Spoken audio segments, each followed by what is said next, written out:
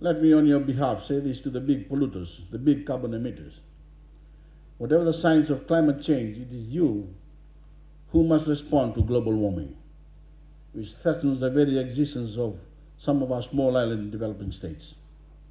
You need, for our sakes, to set targets to curb your carbon emissions, because the majority scientific opinion has it that you are causing global warming.